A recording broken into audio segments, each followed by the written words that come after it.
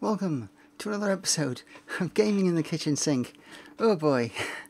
If, yeah, I know I'm looking a bit uh, wet, and that's because I've been shopping for the last bits of the Christmas food. Oh boy. oh boy. And I have something to celebrate. We made it back alive.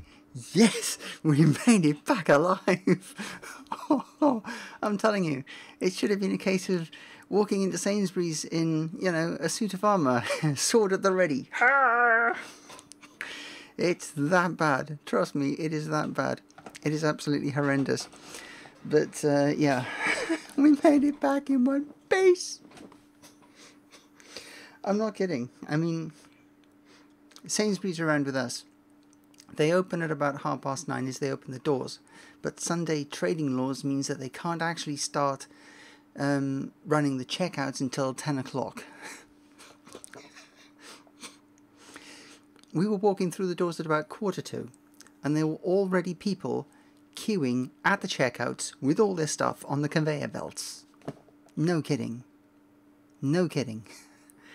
Insane. Nuts. Madness. But hey ho. Total insanity. I mean, there were no mints, mint sweets that Mum likes. There were no lemon cheesecakes, either fresh or frozen. And the, we, we got the last of Mum's specialist um, ice cream. Yeah. Hello, Astral Frost. Merry Christmas, Happy Holidays, um, Happy Yule, etc. Whatever, take your pick. yeah, the incredible thing is that I'm actually here live for one of these. I've just regaled the experience of coming back and surviving shopping in the supermarket. Yike. But it, it was insane. It was utterly insane. And as we pulled out of the, the parking space, I said to Mum, uh, good job we're going, because these two are about to have a, a bust up over the parking space we've just left. oh, utterly bonkers. Totally and utterly bonkers. But here we are, back home safely with a cup of tea. Unfortunately, as is tradition with me, it's still too hot to drink, so hey ho. Ah. So let's get on with the news and views, shall we? There's about 50 odd links in the hoo ha bar, as always. And the first thing that I shall do is introduce you to the Christmas number one in the United Kingdom. we built this city. Yep, we built this city. We built this city on sausage rolls. Built this city. We built this city on sausage rolls. I am not kidding. This is the Christmas number one in the UK.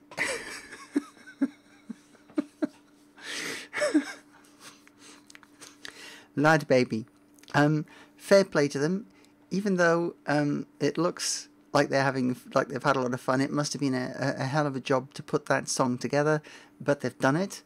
Um, it's for charity, the Trussell Trust, which is uh, feeding the homeless and uh, not not only the homeless, but people who need food parcels um, and are in dire straits. Um, uh, yep, there we go. we built this city on sausage rolls. There's the link. Um, if you fancy buying it, in their video, there's a link to the Amazon and iTunes, and obviously, um, you know, 99 pence, what the hey, I mean. so, yeah, um, that's there for you to enjoy, and I picked this still deliberately because sausage rolls do go nice with a gorgeous cup of tea. Unfortunately, our sausage rolls are in the fridge um, because we haven't made them yet, but I'll probably be doing that over the next day or two. But hey ho. so there you go. We built this city on sausage rolls. this is blank for a reason, um, and that is because um, my protection in scripts script protection won't allow it to show. But the long story short is this says that the headline says it all.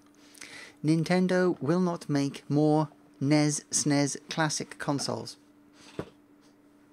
There's been a lot said about these consoles over the last few weeks, about the pre-orders, people who had cancelled them, then people who had found out just how hackable they are, and you can put all sorts on it. If this is to be believed, then they're not going to make any more of them. Um, why? You'll have to read the article yourself because I can't read it. but yeah, there you go. Discord are getting into the action of all people. Um, I didn't know that Discord sort of did this, but they are offering developers 90% of game revenues. Um, Steam, um, uh, 70%, they take 30, a 30% cut. and I think it was Epic who started up their store only taking a 16% cut, and now Discord's getting in on the action with a 90% cut. Um, what this is going to mean for developers and platforms, I don't know. Obviously, the devil is always in the detail with these sorts of things, and whether any platform says that games have got to be um, offer exclusivity platform periods or anything like that, who knows? There's a whole lot of detail which isn't there, but the long story short is um, we talk to a lot of developers, and many of them feel that current stores are not earning their 30% of the usual 70 30 revenue share, Discord writes in the announcement. Because of this, we now see developers creating their own stores and launchers to distribute their games, instead of focusing on what's really important making great games and cultivating amazing communities.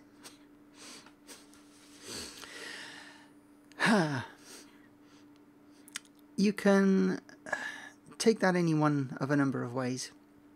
Personally, I'm in no um, kind of position to determine whether a gaming platform earns 30%. It's a value judgment, and when you come as far as uh, protection systems and other things like that, which come with the platforms, um, every developer has got to follow their own um, their own heart. What it means for us, the game players, and the gaming community. Um,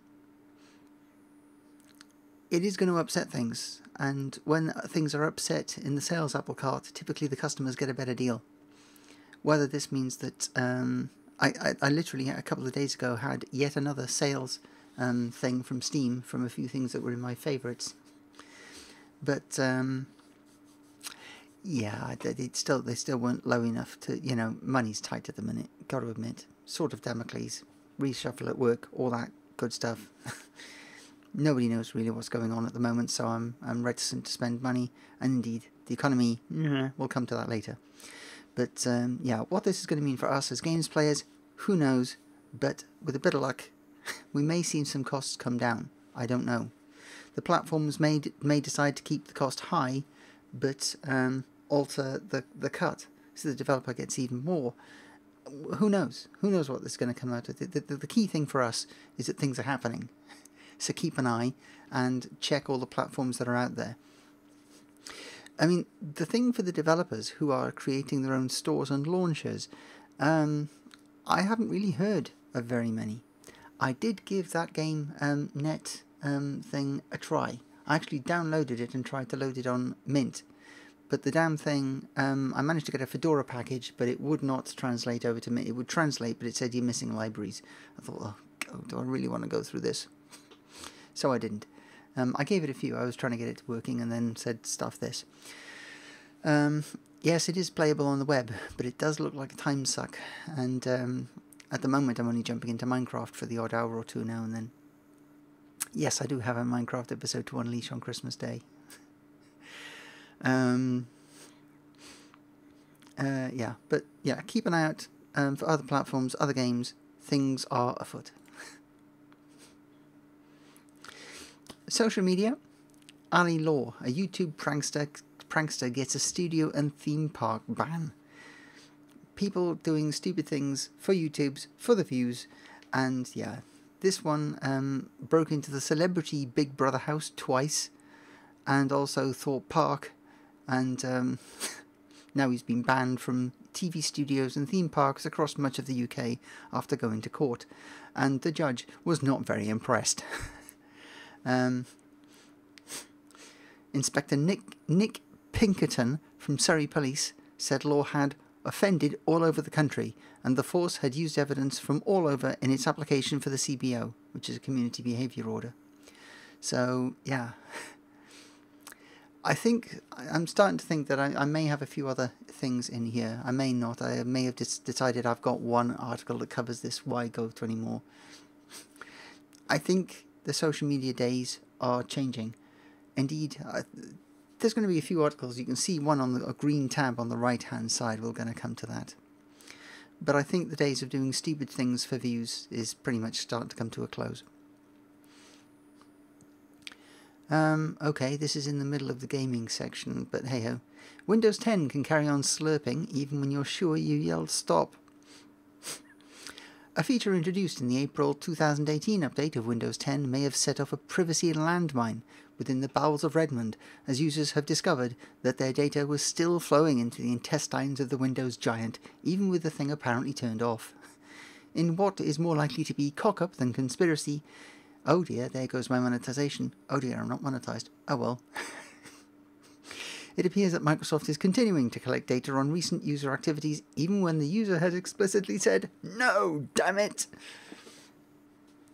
Yeah, long story short is even if you've gone through all the settings to turn everything off, which Microsoft very helpfully turn on now and again on occasions, um, data was still flowing to Microsoft. Um, more information on that but um, if this is your interest and you uh, you consider what Windows 10 slopes to be important, that's probably one for you to read. Another one, which has hit the, in, well, certainly has hit the national news. I know it's hit the national news. Um, Fortnite teen hackers earning thousands of pounds a week. Long story short, people breaking into accounts and uh, basically selling them on um, then engaging two-factor authentication on said stolen accounts. And yeah, I think a couple of episodes of um, ago, I did cover a Sony. I think it was a Sony PlayStation account. Um, even though it had two-factor authentication on it, somebody managed to nick it, and they had a hell of a job getting it back from Sony. Um, it was a tug of war between them and the hacker. Um, but yeah, children as young as 14 are making thousands of pounds a week as part of the global hacking network built around the popular game video, video game Fortnite.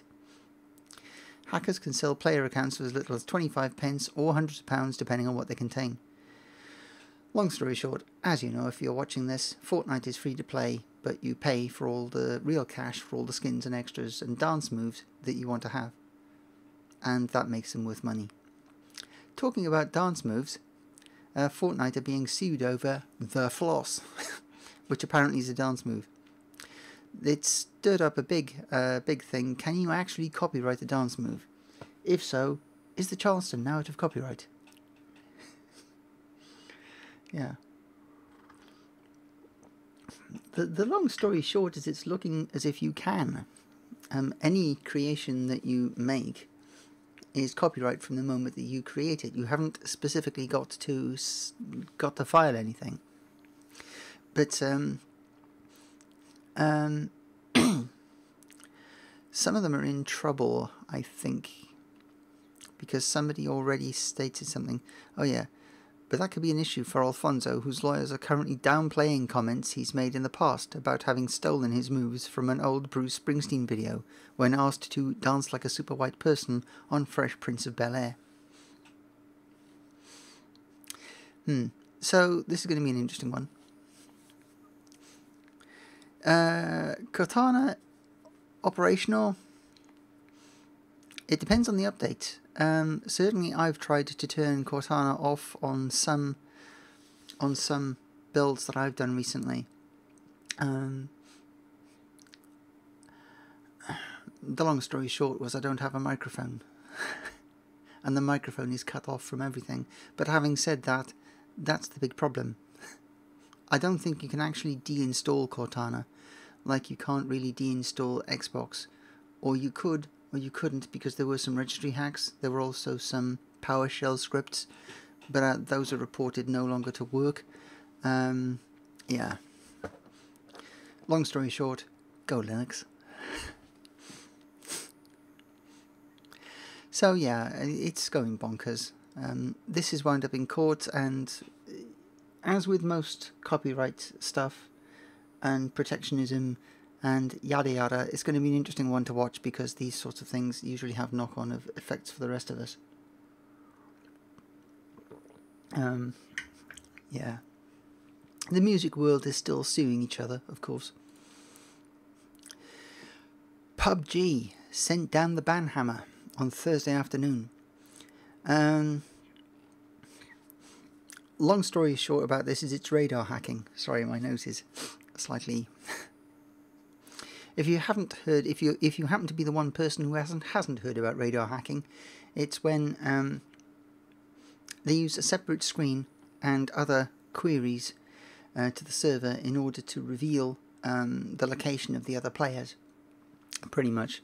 So as well as your gameplay video, you can see a radar of who's where, which of course is cheating.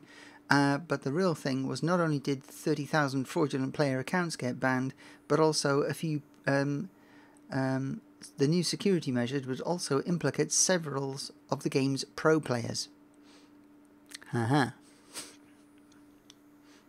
Given what we know now, it appears use of this unsanctioned assistive software was somewhat popular in PUBG's European and North American esports scenes. Over the last handful of hours, multiple apologies, suspensions, and explanations have been posted on behalf of players and organizations alike. Chief among them is Can Texkus, Texkus Ozdemir of the Pittsburgh Knights, who has earned nearly $36,000 in prizing since joining the organisation about one year ago. With news of the ban still fresh, the Knights say they would be suspending him until a full, um, I think Can is, uh, well, whoever Can is, until a full investigation could be conducted. So that's a good one, and there's also a few um, few other bits and pieces. The bands also include Sex Zero and Howlo of the French team SDF, and uh, the fallout of this is, um, yeah. there you go. An old Amiga 3000. Um, was up Mike Clark, who worked at legendary UK game company Psygnosis from 1992 to 1999 doing audio work, rescued this particular Amiga 3000 from destruction after it had been placed down in a corridor ready to be thrown out. Over 22 over 20 years later, Clark is selling it on eBay, and it could go for close to a thousand pounds. Actually, the eBay auction concluded, and it went for more than two thousand pounds. According to Clark, this Amiga 3000 was first used by artist Jeff Bramf who scratched his initials in the top case in pen just in case someone took it off his desk. And there you're supposed to have it. Um, used the machine to work on title screens for Carth Carthage, Infestation, Shadow the Beast 2, and more classic Amiga games, but its headline claim to fame is that it was used to create the original Amiga Lemmings intro and logo. And there in the report is a, is, um, a video of that intro. Lemmings, which came out for the Amiga in 91, was developed by DMA Design, now Rockstar North, and published by Psygnosis before the latter was bought by Sony. And there you go, there's more up on that. this Amiga 3000 is not without its problems, however. The floppy drive doesn't work anymore, and the hard drive is temperamental, which means you might have issues booting the thing up. So apparently he was um, clearing out his parents' loft, which had got far too much of his old stuff in, and after having it for over 20 years, he wasn't going to use it again, and they're known to get damaged when dormant from too long from battery leakage, blah blah blah, so he sold it. So there you go. Um, BBC article, a brief one, uh, a couple of minutes. Which video games will be big in 2019? The one that really caught me um, was at the end of this that there's a tie-up uh, on Wizards Unite uh, between Niantic, the people behind um, Pokemon Go, and a few others. And uh, yeah, it's going to be a Harry Potter wizarding thing on your phone in real life. Yeah how many people are going to be walking into walls? you know, oh, and go here, crunch. Okay, um, cracked screen. Mm. It's going to be interesting to see what happens. I mean, Niantic got into a heck load of problems and are, I believe, is still currently being sued for including people's private property in the game Pokemon Go. So it's going to be interesting to see how they handle this one and where it goes. And if and the, the one thing about this particular scene that concerned me was that with Pokemon Go, people were putting out fake Pokemon to lure other people with expensive mobile phones down dark alleys and then cosh them over the head, nick the phone, goodbye. Um, yeah. Gotta catch them all, not if you lose your phone. So, this is another one of the concerns that I've got, and we will see what happens when it happens. Oh, hiding in plain sight, the YouTubers crowdfunding piracy. As we all know, YouTube is not very good at keeping its promise of taking down copyright material. Is it? No, it isn't. And indeed, Alex Jones still run, runs riots over YouTube despite being formally banned. but this takes it to a whole new different level. YouTubers who are publishing full length episodes of TV shows, rights of which they obviously do not know, own, and on top of this, they are trying to crowdfund their piracy efforts by asking viewers to donate some cash. From a report, YouTuber creators asking for money is nothing new, be it through the site's built in membership feature or third party services such as Patreon. But trying to profit off someone else's intellectual property isn't the same as asking for support on an original video they've created. Yeah. They've got guts. You gotta give them that, but they're not, they're not going to survive very long. Talking horses and perfect faces, the rise of virtual celebrities. A different kind of internet celebrity is emerging. Virtual characters that, can, that talk on YouTube or pose on Instagram, like living, breathing people. Is this the dawn of a new breed of video of star? You know, when I went through this, um, obviously they've got uh, Kizuna uh, um, Al having 2.3 million YouTube followers, yada yada, blah blah blah. I thought, no, this isn't nothing. This is nothing new. I mean, how how long through TV um, history have we um, had puppet stars? Sooty and Sweep, Muffin the Mule, the Flower Pot Men, Mr. Ed, the Talking Horse, among many many others. So I sort of thought, nah.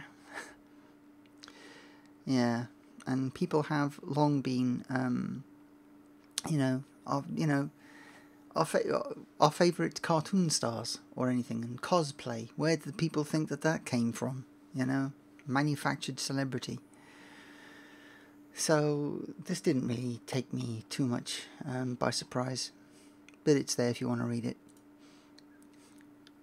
This one's the proper people posted on Twitter.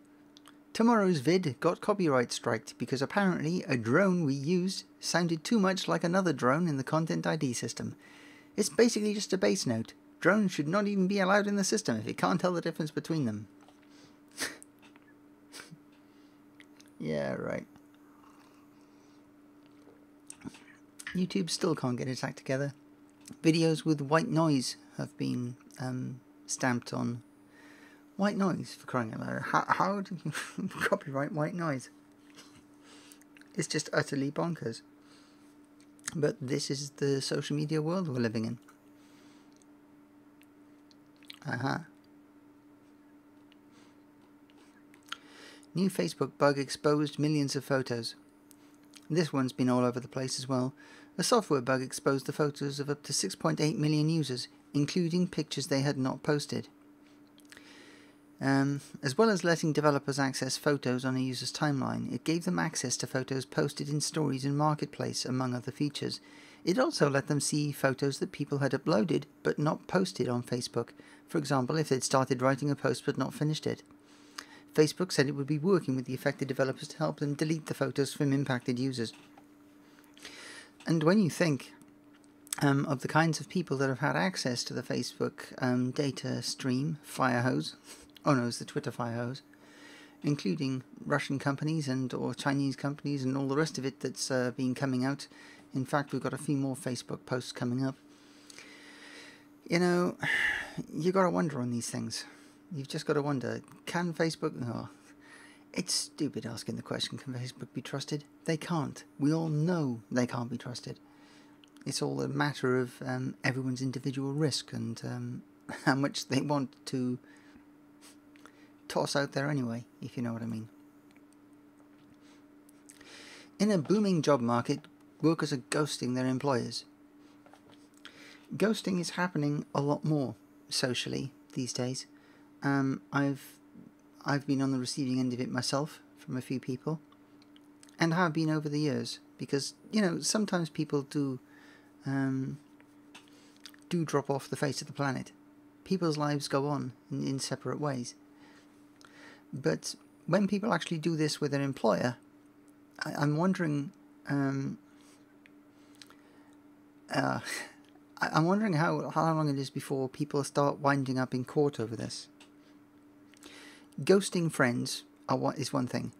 Ghosting an organisation with whom you have an employment contract is utterly bonkers. oh, we've got to worry about what we don't post on Facebook too. Yeah. yeah. Yeah. I mean, there are contracts in place. I can't see employers. Some employers, when employees just start not showing up, they're going to take legal action. I think. I think there's going to be a, a, a, enough employers taking legal action over this when they say enough is enough, and um, who knows. It, it is um, in London. They said uh, th- they say that "see you around" is London for goodbye. Uh, because there's so many people in London, you're never going to see them, someone again, unless you deliberately make an appointment with them. Um, but yeah, um, people falling. Uh, well, I've kept up with some people purely because um, they've, you know, this is the time, Christmas, New Year, when people think about other people and um, we send, um, so, you know, we send tweets or emails um, to each other um, and letters in some cases. I still write Christmas cards to people that I don't get Christmas cards from because um, it's making the effort to stay in touch. And I enclose a, a bit of a short story as to what's happened during the year, which mostly mostly of this year has been mostly work. But hey ho, um, but just cutting off people that you're actually doing business with. That's that's going to come back and bite people. A slashed tyre, a pointed gun, bullies on the road. Why do Waymo self driving cars get so much hate? I'm not sure if it was Waymo that's actually that was actually granted. I think it was yesterday. One of them was granted permission in the US to actually um, carry passengers. I'm not sure if it was Waymo. Chandler, Arizona. A Waymo self driving van cruised through a local neighborhood August the 1st when test driver Michael Palos saw something startling as he sat behind the wheel. A bearded man in shorts aiming a handgun at him as he passed the man's driveway. The incident is one of at least 21 interactions documented by local police during the past two years, where people have harassed the autonomous vehicles and their human test drivers. People have thrown rocks at Waymos. The tyre on one was slashed while it was stopped in traffic, the vehicles have been yelled at, chased, and one Jeep was responsible for forcing vans off roads six times.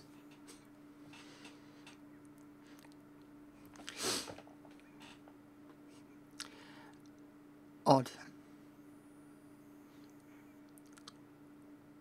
What's going to happen? What is going to happen?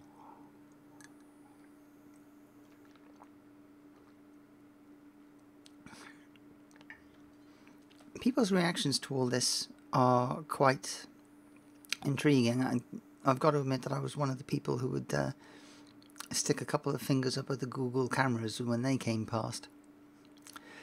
Um, not all the time, it depended on, on, on, where we were and how many people were and children were around. but um, out here in, in, in the sticks. and I can't really fully under- explain it myself. I certainly wouldn't harass an autonomous car. I think autonomous cars are going to have problems, especially on Britain, British roads, and they're having enough trouble on American roads as it is, um, which have plenty of space between lanes, and um, uh, more of the more of the everyday sort of cities um, are arranged in sort of block structures, sort of like crossroad patterns, until you get out into the country, of course. But um, yeah, there's quite a few Teslas around here because there's quite a number of Tesla. Uh, there's quite a bit of money around this particular neck of the woods. Um, but I've got to admit that when I see one of those those things, I am more alert. you know, I'm more far more alert to what it's doing because I don't trust it, and I think this is a case of people not trusting stuff, which is not only not known, but in some cases arguably on the streets way before the technology is ready, um, and people have been killed. Fortunately, not many, but um, Merry Christmas, Paul. How are you doing? just saw your uh, just saw your chat um, thing. Comment. That's what that's the word I was looking for. That's the word I was looking for. So anyway, if you're into um, auto- um, autonomous violence, that's the article for you to read. There was some good news. For the first time in more than 20 years, copyrighted works will enter the public domain. A beloved Robert Frost poem is among the many creations that are finally losing their protections in 2019. And it goes into the whole thing with Disney and the Mickey Mouse laws and uh, all the rest of that. And uh, at midnight on New Year's Eve, all works first published in the United States in 1923 will enter the public domain. It's been 21 years since the last mass, mass expiration of copyright in the US. That deluge of works includes not just Stopping by Woods on a Snowy Evening, which appeared first in the New Republic in 1923, but hundreds of thousands of books, musical compositions, paintings, poems, photographs, and films. After January the 1st, any record label can issue a dubstep version of the 1923 hit Yes, We Have No Bananas. That's going to be a good one. Who's going to issue a dubstep of Yes, We Have No Bananas? yeah. So that's that that was an interesting one to read. Um, Google are in the firing line yet again. Apparently, uh, they deny altering YouTube code to break Microsoft Edge. Actually, Microsoft Edge is broken anyway. It's so broken that Microsoft are tossing it in the bin and restarting again, only this time using Chrome code. yeah, that's interesting. But the interesting thing that um, the claims are surprising if they're genuine, and they come months after a Mozilla program manager claimed a separate YouTube redesign made the site five times slower in Firefox and Edge. That incident led Edge, Safari, and Firefox users to revert to scripts to improve the YouTube experience. Google was also at the center of claims it intentionally blocked access to Google Maps for Windows Phones users years ago. Now, while I'm not, I'm not sure I'm convinced that YouTube was changed intentionally to slow Edge, many of my co-workers are quite convinced, says Bakita in his post on the empty element issue. To add to this all, when we asked YouTube, when we asked, YouTube turned down our request to remove the hidden empty div and did not elaborate further. Google disputes Bakita's claims and says the YouTube blank div was merely a bug that was fixed after it was reported. Who do you believe? Personally, I with Google's behavior, I don't believe a damn thing. Oh no, um, I've got. Um, if you can hear my breathing, my uh, I'm, a bit choked up, but fortunately we survived the um, shopping experience today. So I'm here with uh, finishing off uh, a mug of tea.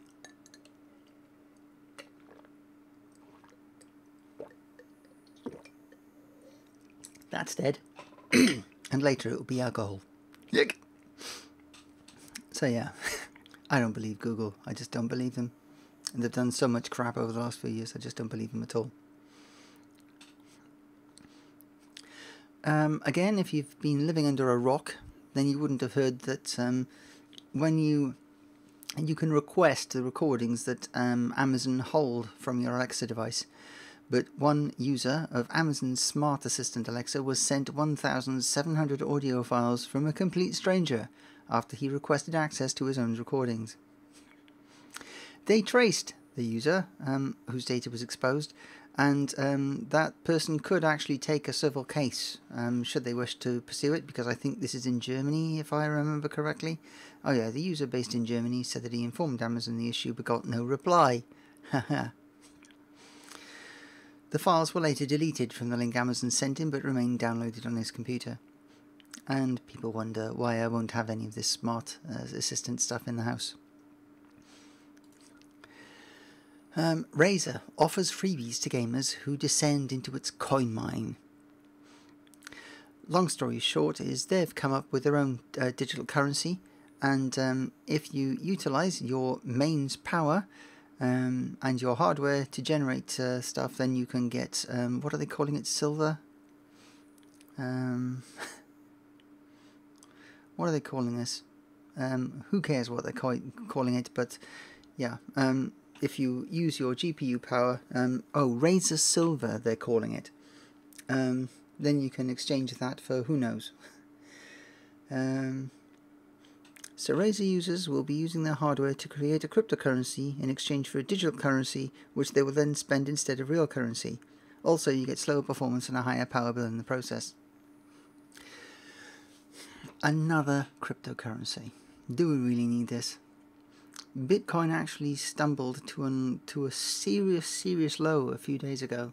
It started climbing and has regained some of the losses, but um, the question is as to how many uh, are those, uh, uh, how much of that is down to speculators deciding to buy in while it's so low, and um, is the, are the speculators responsible for the, the the current peak that we're seeing, and what's going to happen? Is it just going to fall down again?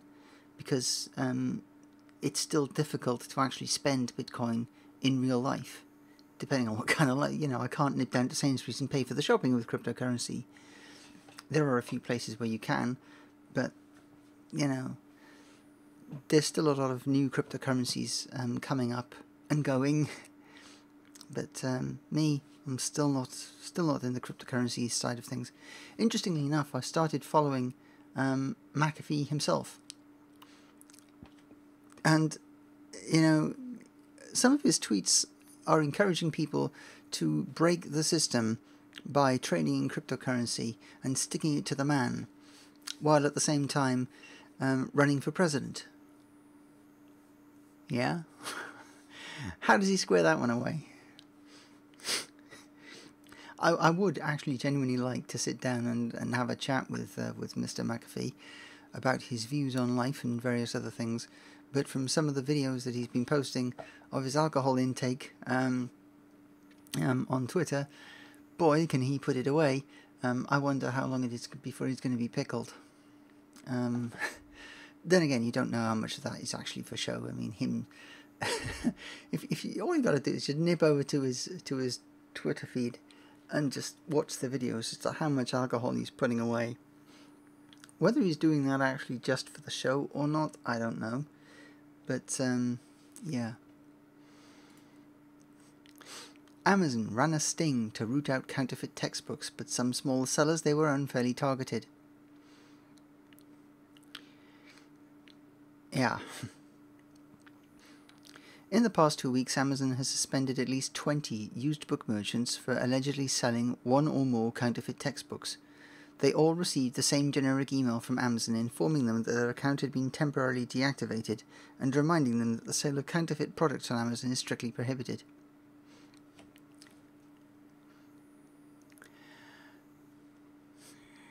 You can see this from a number of different angles.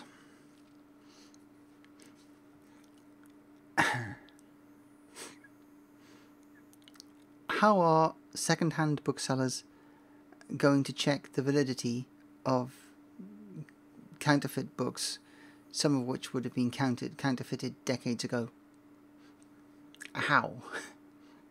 This, the, the big guys can probably um, do something, but the small um, second-hand bookshop who is probably struggling, um, how the hell are they going to do it? Apparently, what Amazon did was um, place an order with a number of these booksellers um, to Clara Dufour at 303 South River Street in Seattle. If Dufour really exists, she doesn't seem to work or live at that address, which is home to a 75,000 square foot commercial office space called Open Square. this just seems to be um, a way for Amazon to legitimately kick booksellers off their platform um, so that more of the book selling is done by them. I don't know. This is going to. Who is it going to impact? I mean, try. I was sat here for a while trying to unpick this, and I couldn't again, it's a simple case of there's no easy right or wrong. Um, true, if you've received stolen goods and you don't know they're stolen and you sell them on, then you are still simply, uh, you are, um, what you're doing is against the law. but, yeah, there's been an awful lot of problems with textbooks recently and price hikes and control. And Amazon also got it in the neck for um, working with Apple, believe it or not. Um, you can't buy Apple equipment anymore from third party resellers on Amazon. Um, um, Apple have got Amazon to um, only accept listings from from third party sellers who are Apple authorized. And in order to be Apple authorized, you have to buy among the various things you've got to buy like two two million dollars worth of kit a year i think. The, the exact thing of this is on Louis Rossmann's channel. So if you go over to Louis Rossmann's youtube channel there's a, there's an explanation of this. But amazon is not behaving very well in my books. And books textbooks get it? This is just bending things so if you're a student after some textbooks on your for your to buy with your meager um, financial rations. Um, eBay. Um, take a walk down to the local bookshops. Actually, I, when I was a student, I did find that the local bookshops were actually pretty good um, because they would have the old textbooks dumped by the previous year's students. So um, if I went out with my list that was given at the start of the at the start of the session and go around the bookshops, I could pretty much get them for a reasonable price. Um, yeah, but this tactic itself just seems to be, while legitimate, seems to be ethically dubious. Facebook added again. It allowed Netflix, Spotify, and a bank to read and delete users' private messages. The social network also allowed Microsoft search engine Bing to see the names of nearly all users' friends without their consent, adding to a report.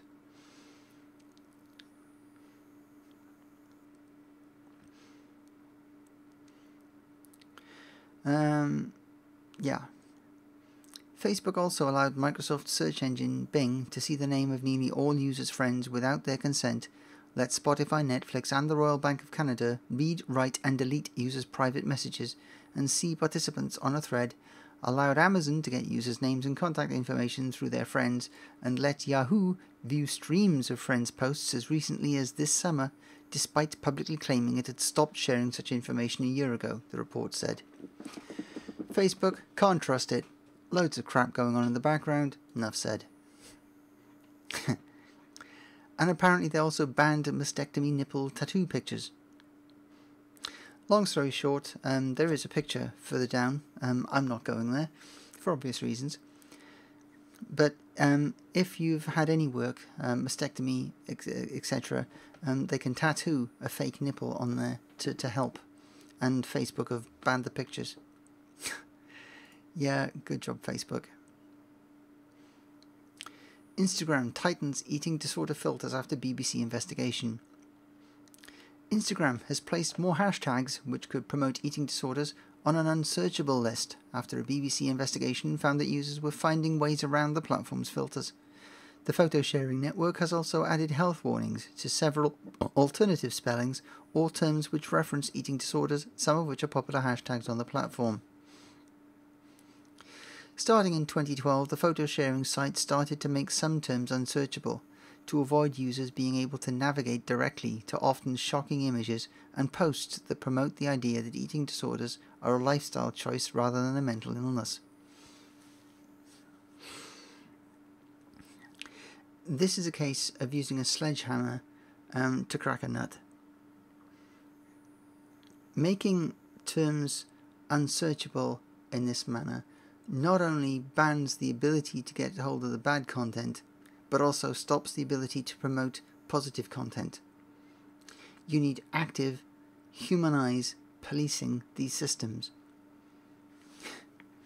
The ban hammer doesn't work. Not only doesn't it work, it actually gets in the way of the good stuff. And not only that, what the hell are Instagram playing, playing at? All you got to do is go into a search engine and search Instagram and your hashtag, and hey presto, the external search engine will do all the hard lifting for you. The her. Yeah. Yeah, the book industry is another interesting one because a, a chunk of the stuff comes from all over the place and also um, you know house clearances for example from people who have passed on and um, and other methods that aren't even down to sellers and from the student's point of view who cares if the book is counterfeit if it contains the correct information? So the student wouldn't care, really care whether it was counterfeit or not provided it had the right stuff in it. It's the it's the sellers. And that, that are the, the, and, and it's the small sellers who are suffering because of this. And you know somebody turns up with a pile of books. Here you go clearing clearing out the house.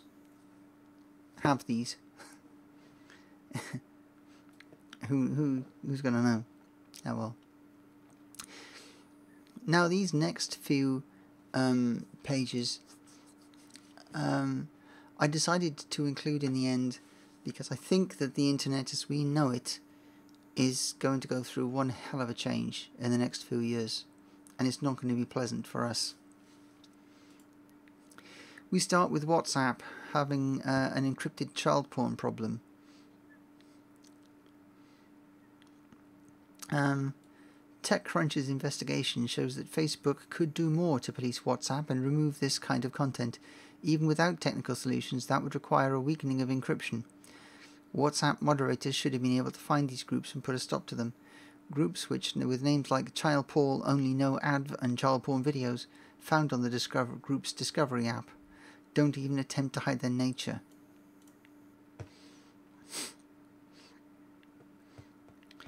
So we could find um, WhatsApp in real trouble, um, but this is a, a chunk of this was down to encryption and the argument that's going on um, around all sorts of stuff now in the halls of power is that if you guys can't take care of your platform, then we'll take care of your, then we'll sort it out for you.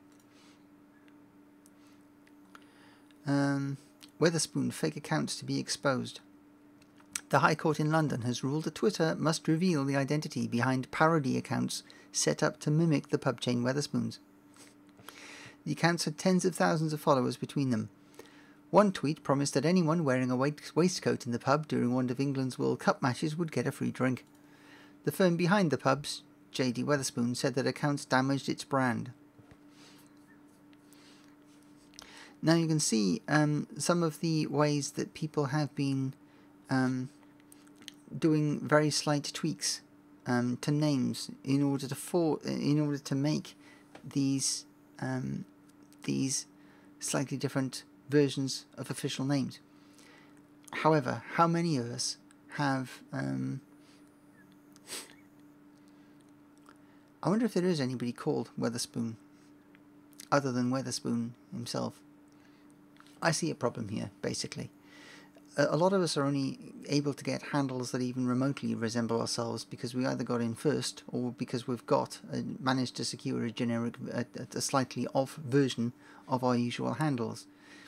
And this kind of thing, if um, a lot of these companies and they're international, by the way, start being able to secure these things, then how many other how many people with genuine accounts are to uh, who aren't who aren't parodying, but they happen to have the same name and handle or very close to as an official um, body are going to wind up having their accounts knocked on the head.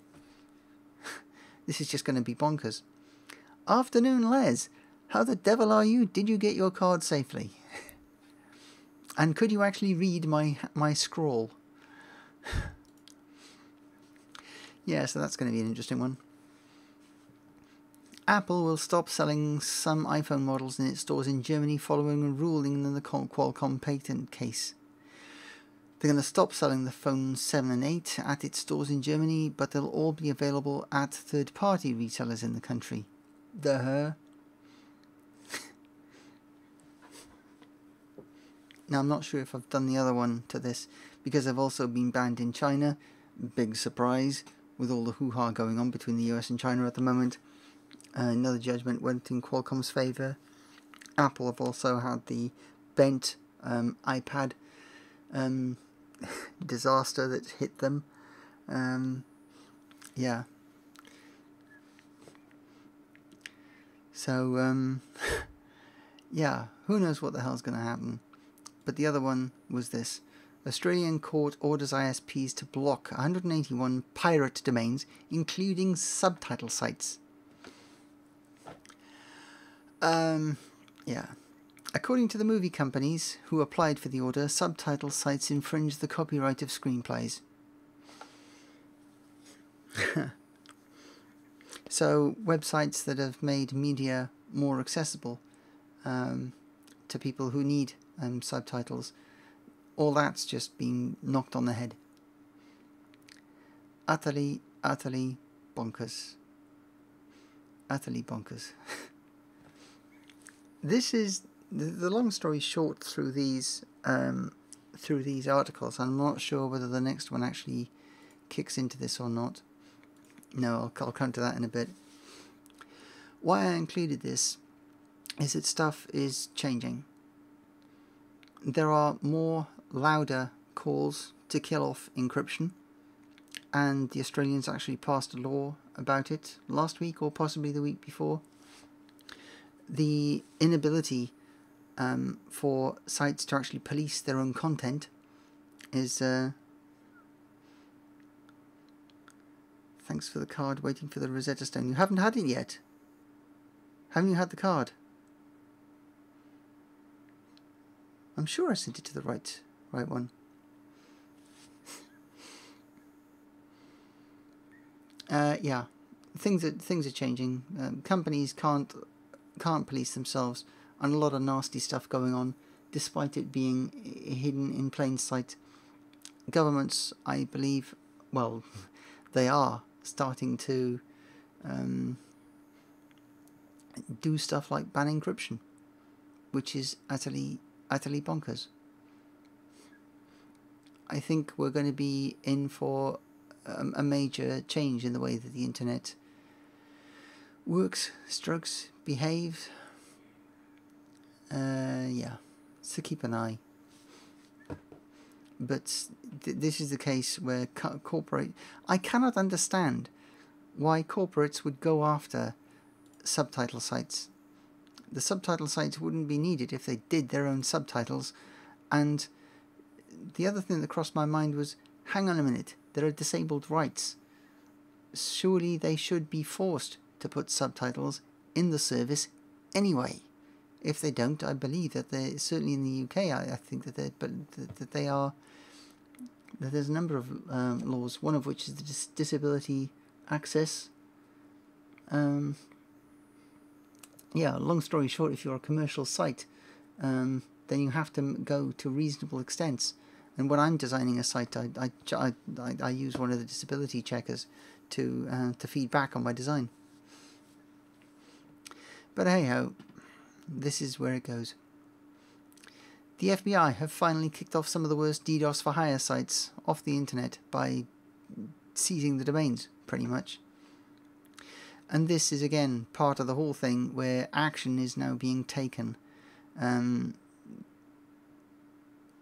I think more stuff like this is going to happen. It's going to happen. The FBI have been seizing the domains of of some pretty nasty sites before, but now it's just getting that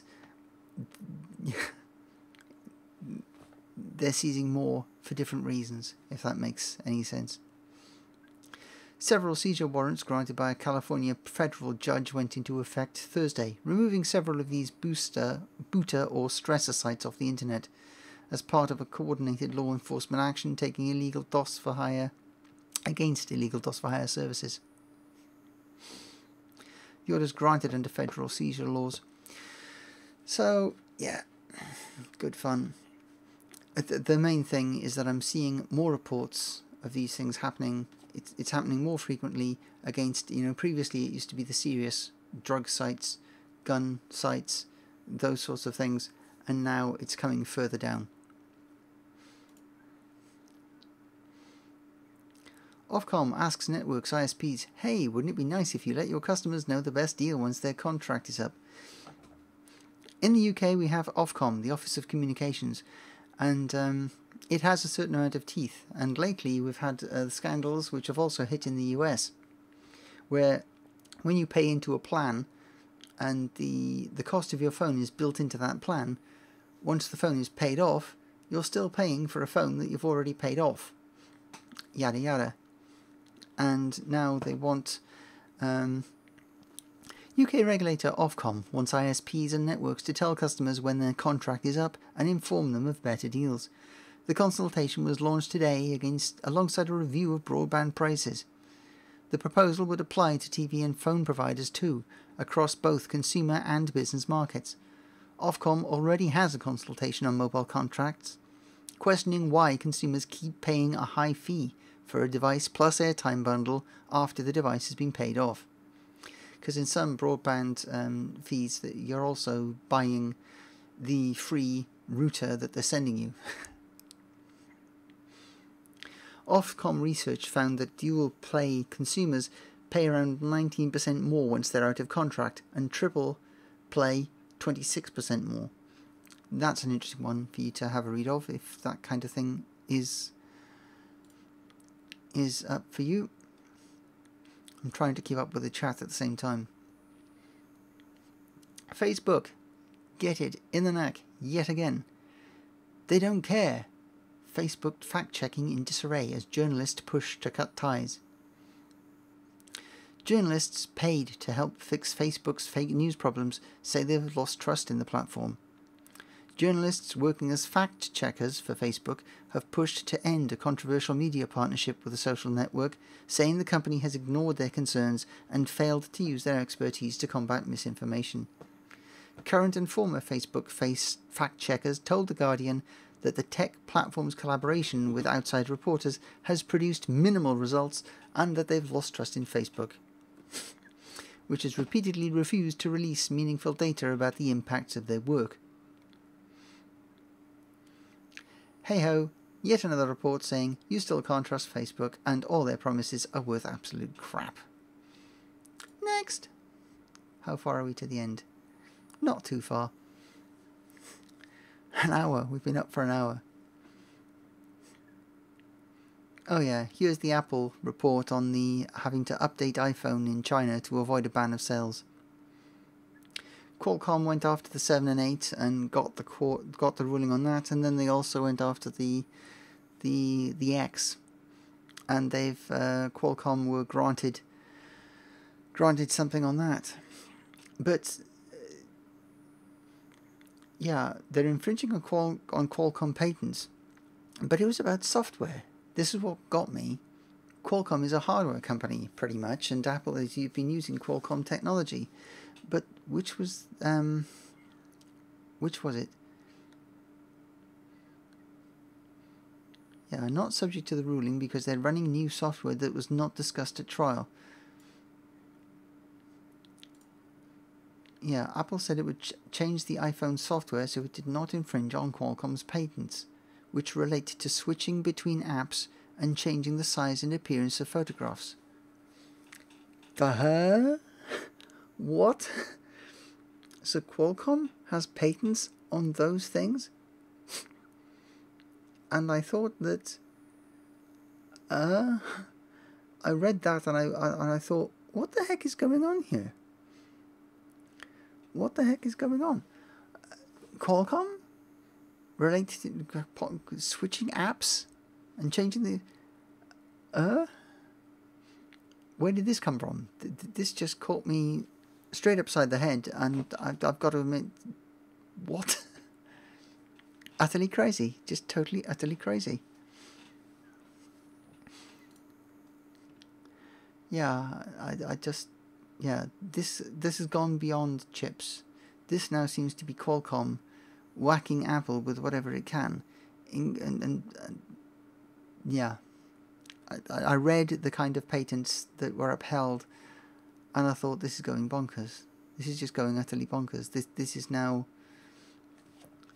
Yeah, it, it, it it's there's significant bad blood between Qualcomm and Apple, because if I remember the previous articles, Apple um, Qualcomm wanted royalties. Apple said, um, "We're not giving them to you."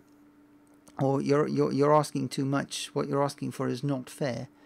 And then Apple went on to the um, the manufacturers um, that were manufacturing the, the the phones and said, "Don't pay Qualcomm this money," which they were supposed to be legally entitled to. And that then throttled Qualcomm's income, and it all got very nasty, very handbags at dawn, and um, yeah. Uh, some of the things happening, or hardly any security. Yeah, it, only takes a few people to really screw it up for some people.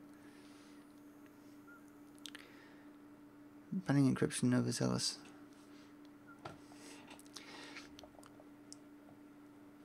Yeah, um, encryption is necessary in all sorts of walks of life, especially for e-commerce.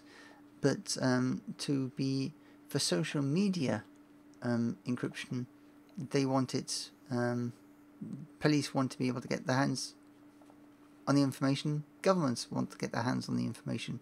There are legitimate reasons for some of it, and it's part of the um, part of the. It's been long been part of the battle. The question has always been, in my mind, how long is it going to be? When is the, our governments actually going to pull the trigger? And it now looks like that time is coming. That time is here.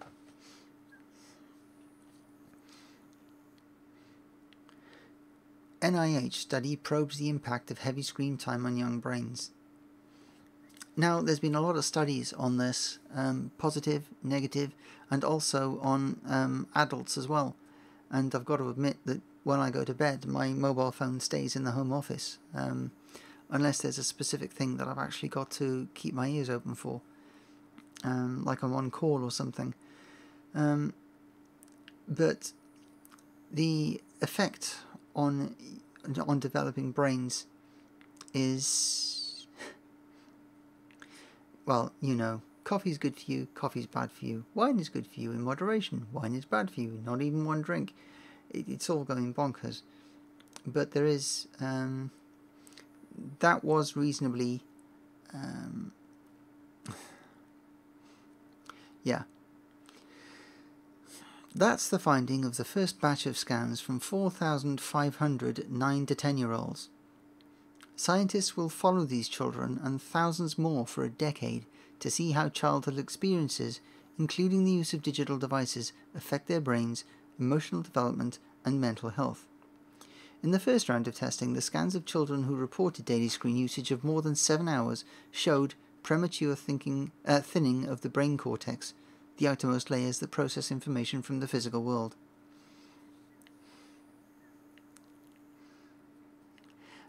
I've, I, my problem is that there is so much that is changing.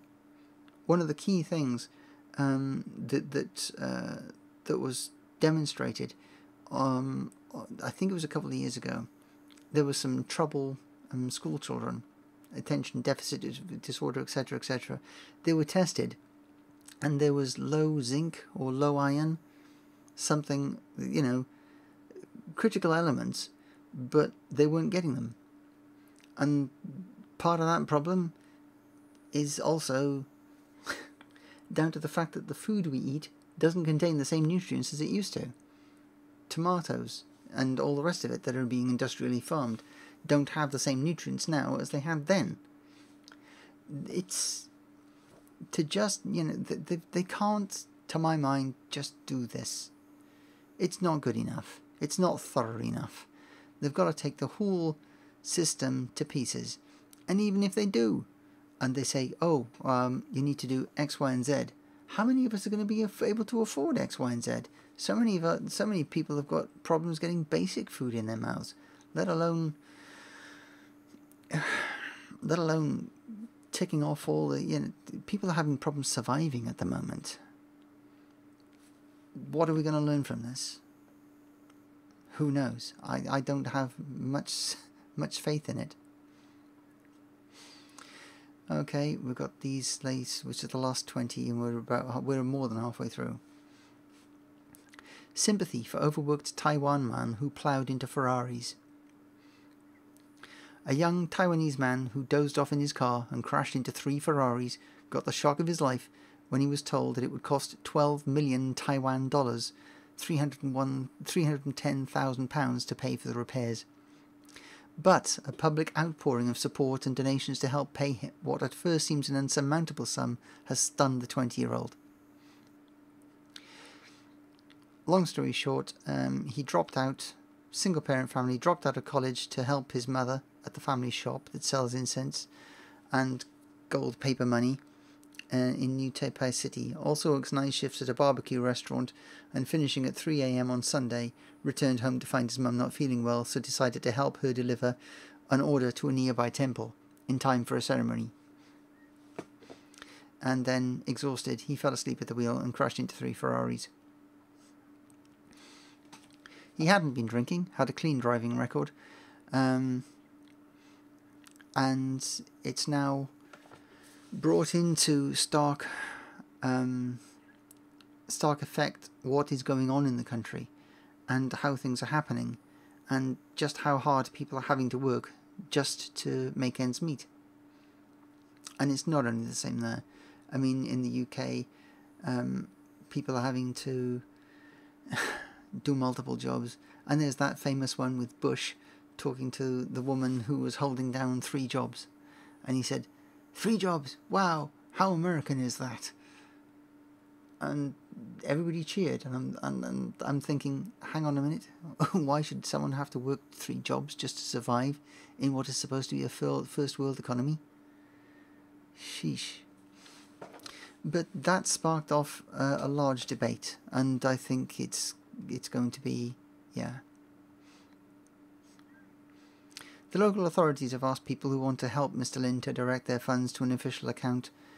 Um, it's starting to build.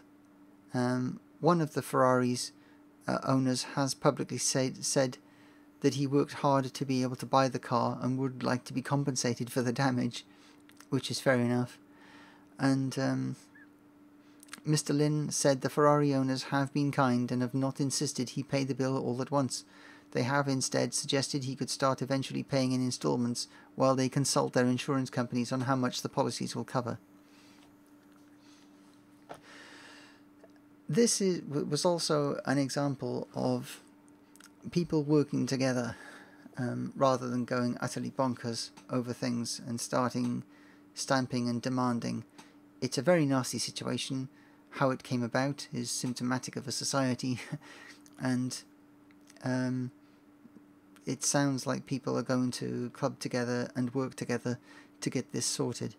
But where Taiwan is going to go over this as a society and what the government is going to do is a much larger question that will take a lot longer to answer. He was insured, but he was only insured for um, Uh, where was his insurance cover? He wasn't insured for. Uh,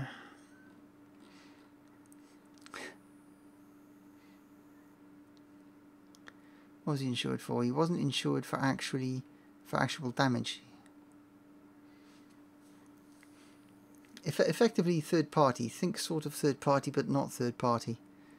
I don't know what's actually um, legally required.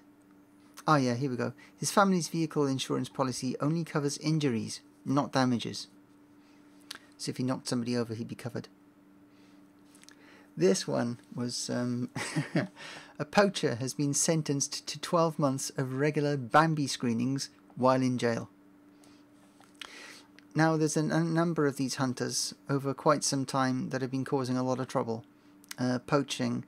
Um, the Springfield News Leader in Missouri, USA, has the story this month of David Berry Jr., one in a family of four caught hunting trophy bucks without a license.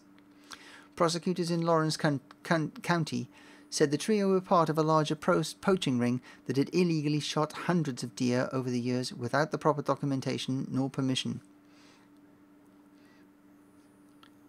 Uh, yeah. A judge in Lawrence County gave Berry, the younger one, uh, the younger, one year behind bars for the poaching violations and added an additional stipulation. Once every month, starting on or before December the 23rd, Berry will have to sit and watch the 1942 Walt Disney animated film most famous for traumatizing three generations and counting of young children. yeah, Call us pessimistic, but we're apt to think that a person who regularly killed and decapitated deer won't be set on the straight and narrow by animated portrayals of the activity. In this case, case another approach may be warranted. An informal poll of Reg staffers with young daughters and nieces concluded that a long car ride and the soundtracks of Frozen and Moana are, in fact, significantly worse than monthly viewings of Bambi, but may also run afoul of US laws forbidding cruel and unusual punishment.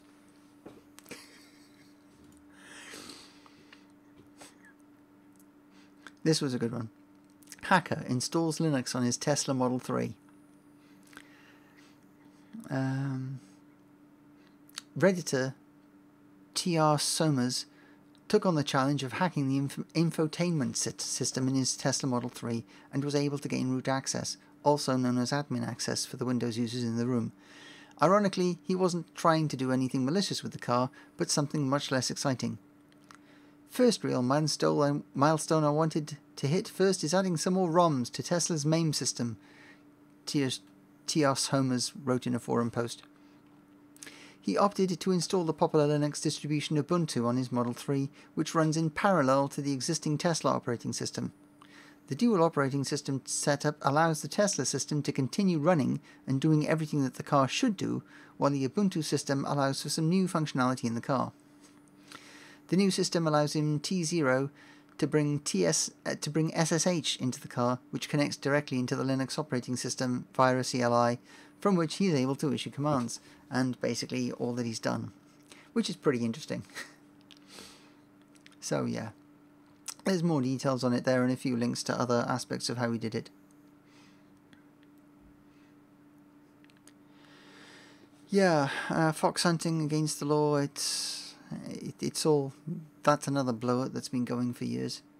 The problem is proving everything and the violence that's happened between the fox hunters and the um, and, and the anti-hunt um, crew. Uh, yeah. Britain. Yeesh. Here's an interesting one. Researchers make RAM from a phase change we don't entirely understand. Two ways to switch tiny patches of a material from semi semiconducting to metallic. The long story short is um, that this is can basically be RAM which holds on to its memory when the power's gone. Imagine the boot times on that. You can just switch it on and immediately be where you were before. Not having to boot at all. More interesting stuff um, in that article for you. This was an interesting one about how the global trade in tear gas is booming. One of the most interesting uh, things about this is um, security forces gassed protesters on the first day of the uprising and continued for months. Nor made it his mission to try and pick up the tear gas canisters and throw them away from the crowds. Wearing a thick glove he brought to Tahrir Square just for this purpose. He got to know the canisters well. The tear gas canisters look kind of look like soda cans from a distance. Silver, round, he said. A pastime activity for some people during the clashes was to pick up these tear gas canisters and read who is the country that has supplied these weapons to try and kill us. So, ah, look, this is American tear gas, or this is British tear gas, or oh no, they're cheap and they're using Chinese tear gas now, they want to kill us. Some of the canisters he noticed bore the brand name Combined Tactical Systems, an address in Jamestown, Pennsylvania, and the words Made in the USA. Yeah. And that gets that was an interesting read. If you want to go down on that one. And a third of rare Scotch whiskies tested were found to be fake. 21 out of 55 bottles of rare Scotch were deemed to be outright fakes or whiskies not distilled in the year declared. The tests were conducted at the East Kilbride based Scottish University's Environmental Research Centre, SUERC. That's one of those acronyms where it's easier to say the whole damn thing incomplete rather than the acronym. So, yeah, wherever there's money, there's fakery. I mean, we're even getting it in valves. Um, the valves used for um, valve amplifiers. and they're going to extreme lengths. Um, but hey ho, you've just got to be careful. But I wouldn't have, you know, to fake vintage scotch. I mean, crying out loud. I mean, you are you are looking. RW101 said a total of 10 single malts, malts purporting to be from 1900 or earlier were found not to be genuine. 1900? Are you really going to drink a malt that's that old? I mean, I have to say, I, I do like um, the odd th few bits and pieces and um, some of the stuff 14 years, 16 years. If I'm treating myself, I'll, I'll go for something of that kind of age. Um, but I can't even imagine what um, what something of that kind of age, more than hundred years old, would even taste like. Uh, yeah. Other than trading on the rarity value, uh, you know, not intending to drink it at all, but trade it for more money based on the rarity. Uh, yeah, crazy. She controlled my money and when I could eat. Um, I've covered this subject a number of times, um, and uh, what it's purely the you know men are just as a, at risk of abuse as women, um, and the number of refugees um, are closing. There are only nine refugees exclusively for male victims of domestic abuse in the UK. One of them is at risk of closing. The Victoria Derbyshire programme has been to meet one of the men it is helping. She was quite controlling. She always used to take my money out of my bank account when I got paid, said Dean. She threw stuff at me. She basically kept my, me away from my family for the last ten years. This, I think, is going to change as society continues to change. I mean, one of the things that has happened for women's emancipation and empowerment more than 100 years ago is starting to happen for men who are now um, it's an ongoing thing of of men not believing this, the sort of things that are being taught. Men don't cry and man up and all that sort of stuff and are starting pe- people are starting to stand up for themselves and seek help when they need it. And um, yeah men do cry and men do need help and they should go to the damn doctors if something is ill if they feel ill but um, until that, so many um, men are basically um, suffering and through all this social pressure side feel that they've just got to take it on the chin and carry on. And no, that's not the case. But with our society being bent so much um, to, and, and still, the narrative is still being bent by many that it's only women that suffer this at the hands of men. No, I've covered it before on this channel, the issue with Cornwall, where more men were domestically abused than women in the entire county. So, yeah.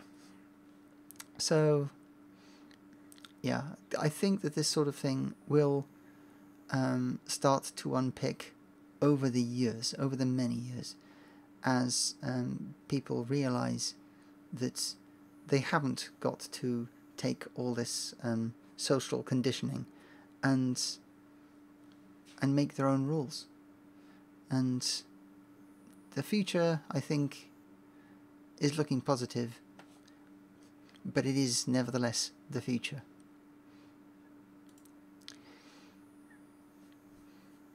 Um, there are issues. I mean, at Last Refuge, a Bay Area RV community bands together to fight City Hall. Surrounded by the wealth fed by tech titans like Google and Facebook, a small community of blue collar RV dwellers is fighting for the only place they can call home. Lisa Corsi Stevens below works for San Mateo, uh, Mateo County. She loves her job, but despite steady work and little debt, she trudges back and forth to the office every day from a dark RV trailer, packed floor to ceiling with bags of clothes, pet supplies for her seven dogs, thriller novels, and food. I've got to admit, seven dogs. but the long story short is there are so many people living like this, and uh, not only in the US but the UK as well.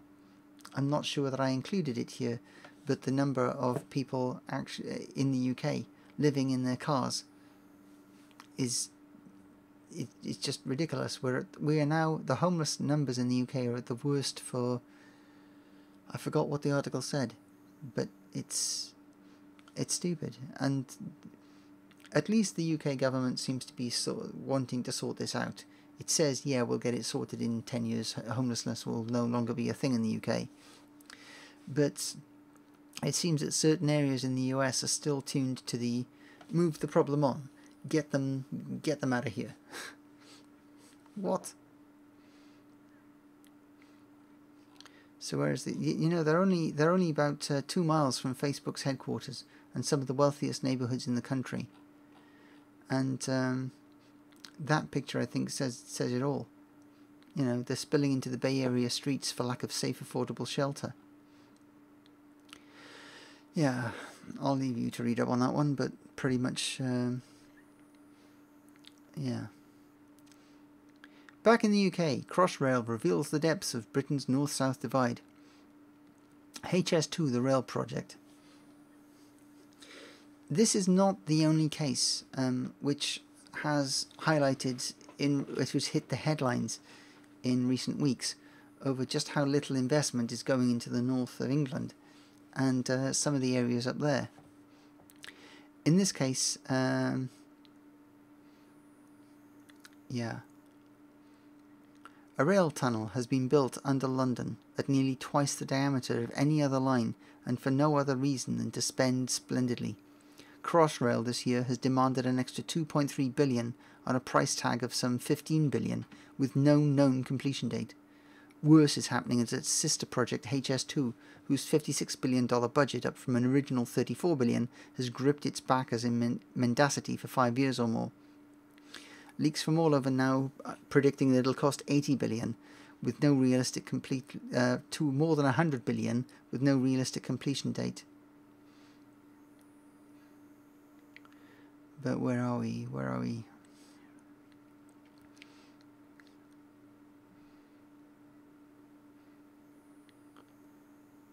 yeah.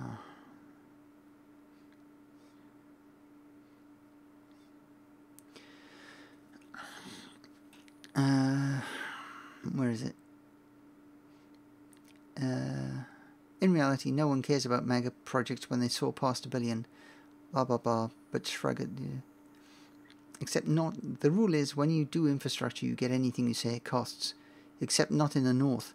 No one travelling these days between Lancashire and Yorkshire, by rail or road, can doubt this region has been starved of transport investment.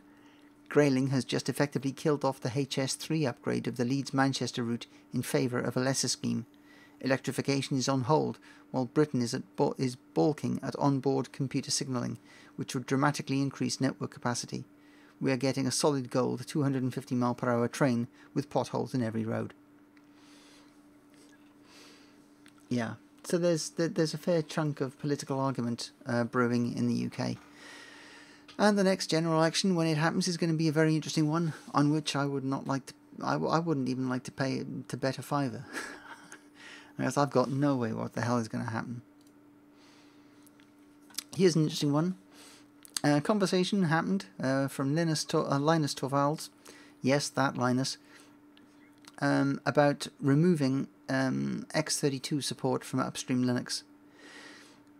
Now there have been some issues. Um, the the decision to drop 32-bit um, processor support in the Linux kernel has been an ongoing one for quite some time, and it's one which appears that it's now going to be actually more realistically happening. I think one yeah, one distro has announced that it is stopping um, the 32-bit distro and staying with 64-bit only. But if you um, if you are a Linux user and you have got some 32-bit um, machines, um, you may want to consider upgrading or, or, keep an eye keep an eye on the issue. Pretty much keep an eye on this because it could affect you, and you don't want to be bitten up the arse by that sort of thing. The secret I'm hiding under my oversized fashion style. Now, overall, um, we do, as a society, now seem to be starting to talk about things which, which were either hidden or taboo, and it's a good thing in my view because we are finally realizing just how varied we are, and I'm hoping that as the years go on, that will bring more um, less stereotyping and more tolerance and judgment of individuals as individuals rather than a load of um, stereotyping. But hey ho. Yeah. And the homeless people might actually not commit suicide, they may die of hypothermia this winter. And there's been quite a few deaths already. And, um, yeah. London gets their tunnels while everyone else gets their houses demolished. Pretty much. And here we have an influencer who's known for her baggy fashion style. But what her 7,500 Instagram followers don't know is there's a big reason she chooses to wear oversized clothes. Um, she has um, neurofibromatosis, NF1. So she's chosen to um, show people what's going on and um, she's chosen to discuss this with her followers and other people. And um, as she says, her tumours have held her back, but one thing changed for her because her tumours are under her clothing. And then she met um, with Adam Pearson, who also has NF1, and his tumours are pretty much um, all over his face, as you can see. And um, yeah, there was Newsbeat documentary, link there. My tumour made me trendy. Um, and talking about that. He's an actor and presenter and appeared in the 2014 film Under the Skin with Scarlett Johansson. So, yeah, what they went through and um, yeah. The ongoing battle between PewDiePie and um, T T series. The printer hackers struck a second time. They struck even more printers all over the place, and um, yeah, encouraged people to unsubscribe to TCU, subscribe to PewDiePie. Oh, by the way, fix your printer, and um, yeah. So if you've got an internet connected printer, tie it down.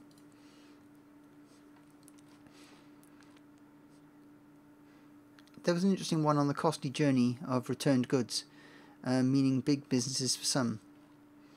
Now, a lot of people, it's been a big thing. Um, people order things, especially clothes, wear them once, then return them, and um, other goods are bought and then returned. Revolve, a California based online clothing retailer which filed for a public listing earlier this year, disclosed that it made just under $400 million in net sales last year, but paid out $385 million for return items according to one industry expert. Yeah, that's serious money.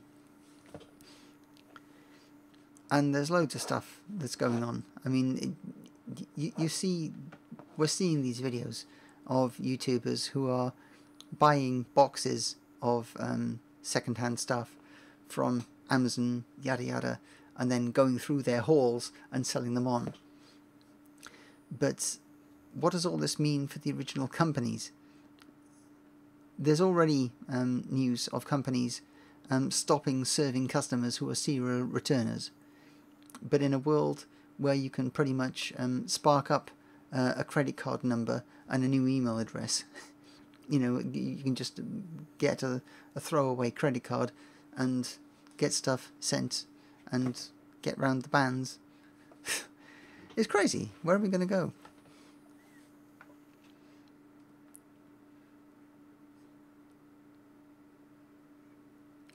Yeah, I haven't seen the Conservative MPs during the food bank openings. Um, there's just so many food banks around um, now. It's it's disgusting that so many food banks actually exist in the first place. That our society's in this this idiotic mess. Yeah. As usual, I think with many cases it'll be society itself that sorts out a lot of these problems.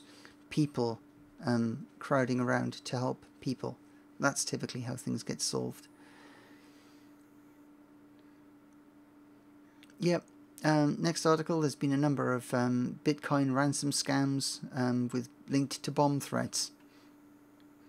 Long story short is it's not it's no longer a case of we've got your password to a forum, um, give us money to keep it secret. No, it's we've planted a bomb, give us our money and we won't set it off. Right. yeah. Crazy. Capita. Um, long, ta- long talked about as Crapita in various UK circles, um, has actually been in trouble um, this last year. It's been in quite a bit of trouble. Quite a few areas have underperformed. And now it's being blamed for a shortfall in British Army um, recruit recruitment. The British Army has missed its recruitment targets by between 21 and 45% each year since 2013 because of a botched project with Capita, according to a damning report released today. And it basically went, goes on to how the um, how the whole thing was just riddled with bugs, beset by problems, and um, yeah, the project just went. Uh, God, thank you, Capita. What's going to be done about it? Probably not a lot, but we're going to see what happens. Banksy's season's greeting protected with plastic. He's put, um, he's done some more in um, Port Talbot uh, depicting a child eating snow. But what um, what got me,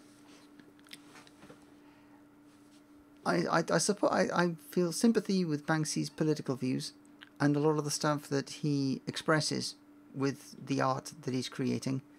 Um, um, I think he's on the whole doing a very positive thing in society.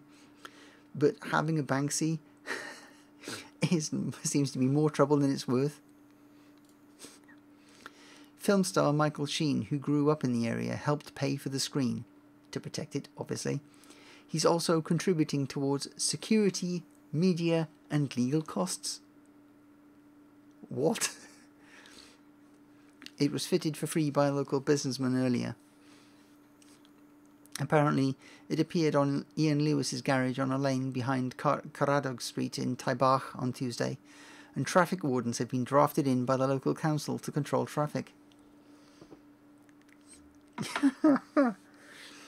so Banksy leaves you a gift, and oh boy, it can turn into a headache in no time. I mean, legal costs, media, security media, and legal costs, resulting of Banksy leaving uh, some graffiti on your wall.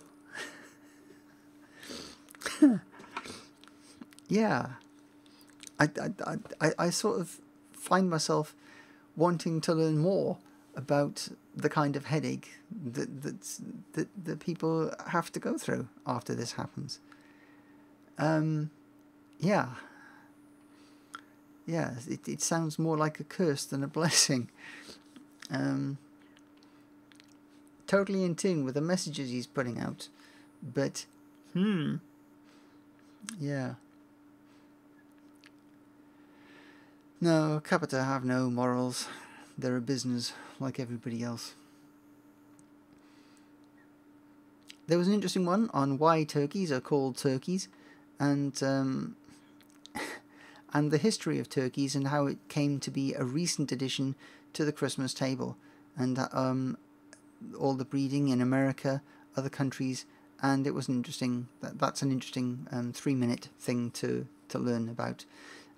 Beef used to be the thing on the British Christmas table, ousted by turkey, um, because of the exoticism, I think, and then it be, sort of became an everyday meat, ish. But all the houses, um, all all the posh houses actually had multiple meats um, on Christmas anyway. So yeah, and actually it used to be baked in a pie, and the the, the, the feathers, tail, and stuff used to be stuck stuffed as as part of the pie, as part of the decoration. But that was an interesting one. A naughty parrot keeps using Alexa to buy things online. yeah, you you got it. Great pronunciation, Shell. Well, I'm Welsh. I am Welsh. I, I still get my Welsh pronunciations wrong because I don't spend enough time. But hey ho. Who's a clever boy then? A parrot called Rocco has been placing orders online by chatting to a voice activated device. I think the interesting thing about this was that he's buying. It was reported that he was buying uh, the things that he likes to eat. The problem is, is that the buy the things he likes to eat include um, a light bulb and even a kite. I've had uh, a parrot. Uh, I've had an African um, grey attempt to eat my um, the heel on one of my boots, but uh, I think even this one would be going a bit far by eating a light bulb and a kite. Hey ho. There was another interesting one in that um, uh, someone basically bought a house, did the carpets, and found this letter that was left in 2007 and um, from a child who was just having to move out and um, was eventually traced down. Quite quickly in fact thanks to social media. One day i think. Yeah.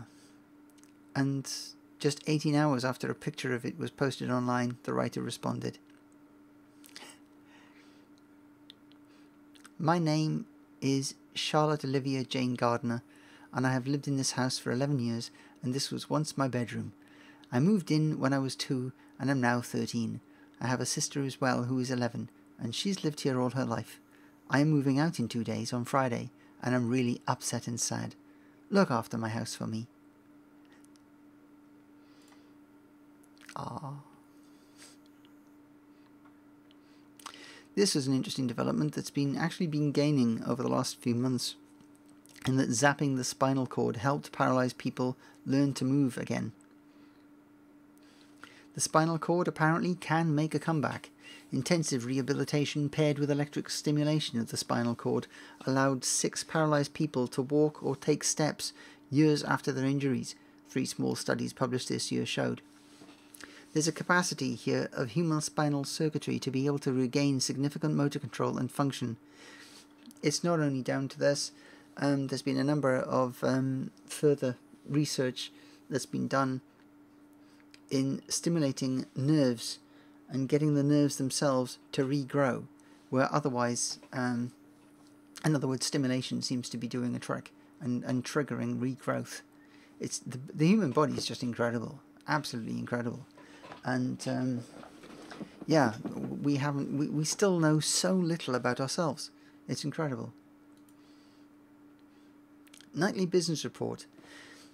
Um, yeah, Johnson's baby powder. Stocks took an almighty dive um, when um, when reports came out that that Johnson's and Johnson and Johnson executives knew about um, asbestos being in the products and were having problems working out how they were going to get rid of the asbestos the full details of the report are in um, that broadcast. And um,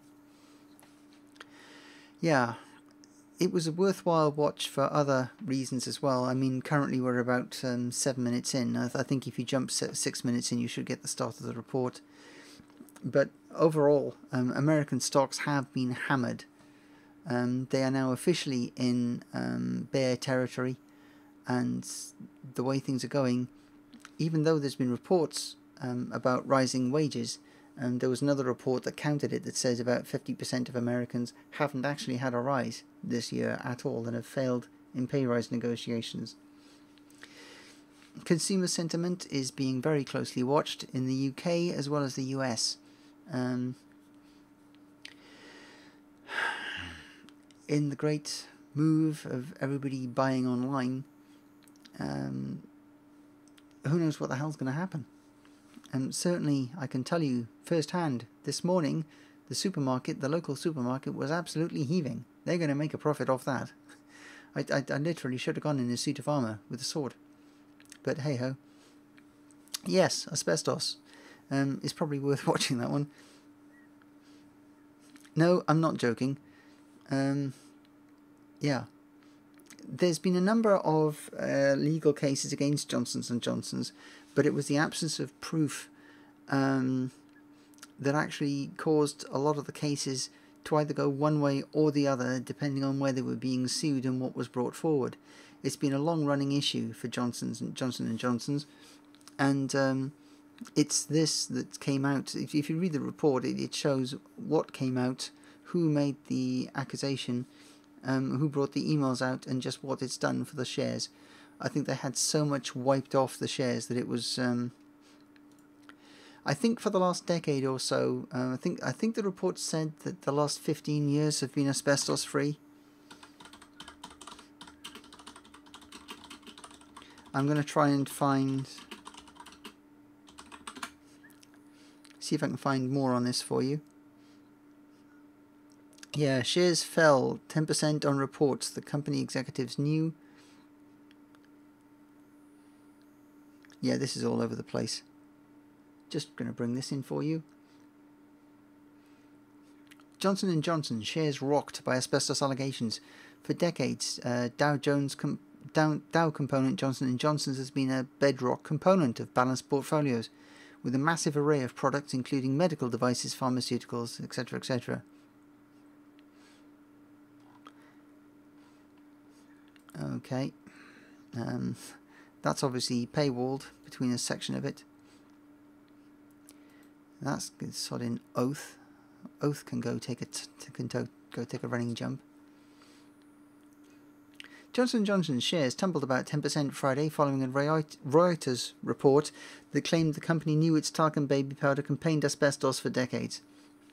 Reuters examined documents, de deposition and trial testimonies that showed Johnson & Johnson company executives Mine managers, scientists, doctors, and lawyers knew, at least from 1971 through to the early 2000s, that the company's raw talc tested positive for small amounts of asbestos but failed to tell regulators or the public.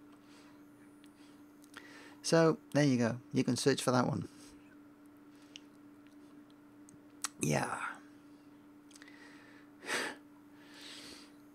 Final three links. In fact, sort of two links.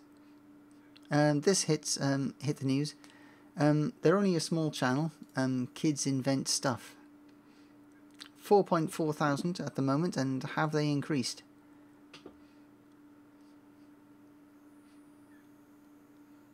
Come on. No, still 4.4 thousand. Long story short is um, the kids uh, kids build the crazy kids come up with the inventions and they build them and uh, yeah, this is uh, the, the, the kid actually coming to see uh, his invention working, which is a cleaning suit. There is, um, they actually built it. You can see the vacuum cleaner. There's tubes down to the shoes, so as you're walking, you can clean up, uh, clean up the stuff. Um, that's yeah, the, stuff you. Um, that the kids are coming up with is, is incredible. And there was a section um, on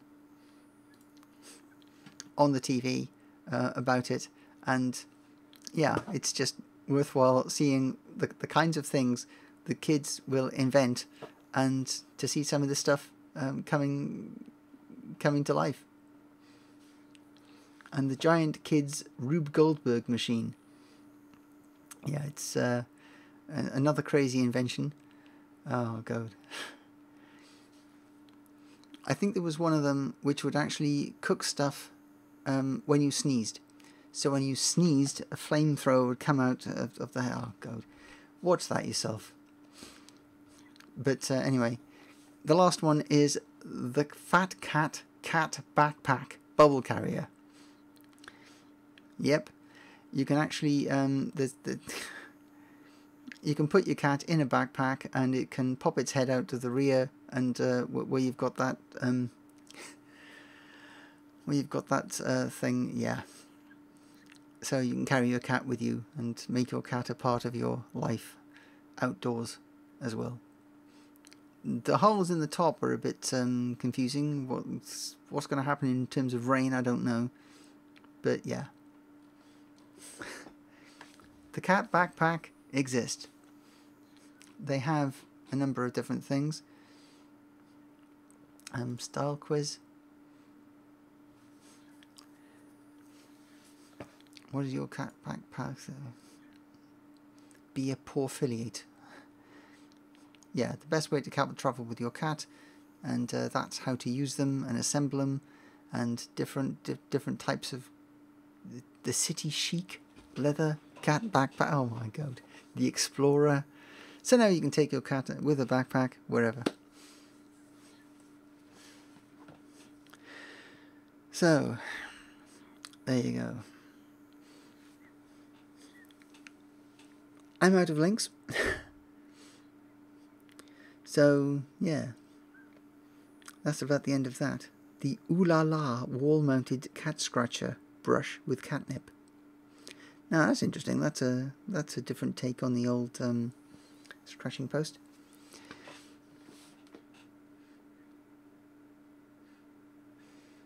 Les, question for you. Did you actually get the card that I sent, or is it still on its way to you? I hope.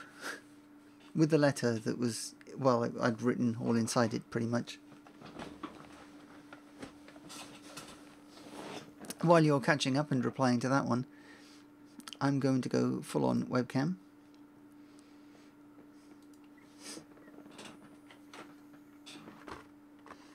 if you've been watching the channel, um, somebody, uh, a, Dutch friend of mine left me a few things, and yes, uh, what was in the package was a big chocolate letter M. It's traditional to have a chocolate letter in the in, in initials. Dark chocolate, nice stuff, and as you can see there's not a lot of it left. Mmm. Mmm. Mmm.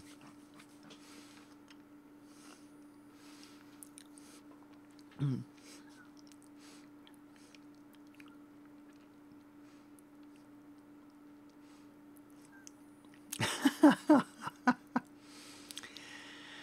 okay, Paul, you'll probably have, well, you'll probably have to send me your address. Or have I already got it and then I'll put you on the Christmas card list. How's that?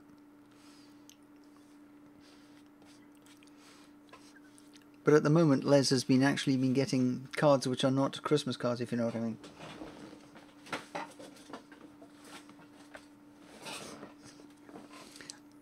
Um, Les sort of put on his Twitter feed um, some of the one of the famous private eye cards, um, and I happen to have some of the private eye cards. So I've been sending him the odd cards now and then. Uh, unfortunately, he's now watching, so he'll know that this is the next card. Hopefully, he won't be able to read the punchline that's on the bottom of it. Yeah. Very socially apt. Ah.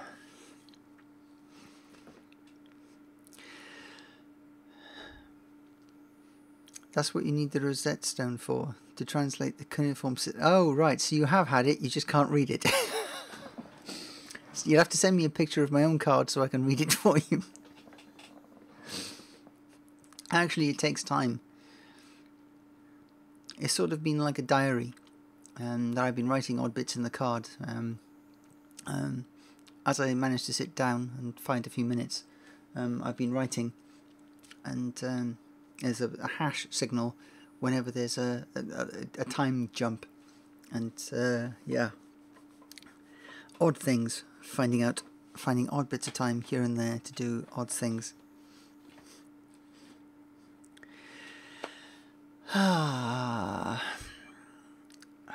oh well. So we've dropped down to four, and I think that's about it. So, unless anyone has any questions, I'll bid you all adieu. For those of you who are following the um, the Minecraft episodes, there'll be another episode on Christmas Day um, for you, and there's also another one in the bank. And uh, yeah, got hopefully I'll get some more gaming done. I don't know. So, um, looks like we're all done by the sounds of it. So take care of yourselves. Have um, a Merry Christmas, good holidays, um, Bon Noel, whatever. Whatever you celebrate, I hope you have a good celebration. As for me, I'll just be chilling out and using the holiday to have a nice relaxing time. You're off to some to pound shop for some reading specs. Use your mobile phone, take a picture and then blow it up on the screen. Haha. That'll save you some reading specs, which are about three quid. So take care of yourselves all. Um, have a good holiday. Um, and um, yeah. I might see you again this year. Might not. We'll see what happens. Take care. Ciao for now.